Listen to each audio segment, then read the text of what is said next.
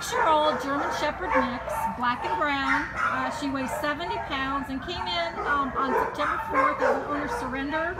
Uh, they didn't give us a reason, and, and she's, she's absolutely gorgeous. She's very elegant looking, very, very ladylike. Uh, Destiny, what else do you want to say about this beautiful girl? She's very sweet. She knows also how to sit, so you know she's already really smart and very loyal to her uh, to her owners. Um, like she was sticking right by me. She didn't want to go nowhere. She just loves uh, to be pet, you know, and reassured. How does she walk on leash? She's pretty mellow on leash, so she kind of needs time to get used to like the leash in general, because it was kind of like still new to her. Like, Right. hey, what's this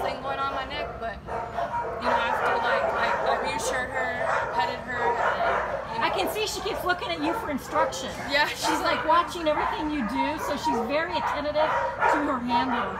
Um, you said she had signs of house training, so Yes. she she's got that. So she's obviously came from somewhere where someone's worked with her a lot. I mean, she knows some command. She knows.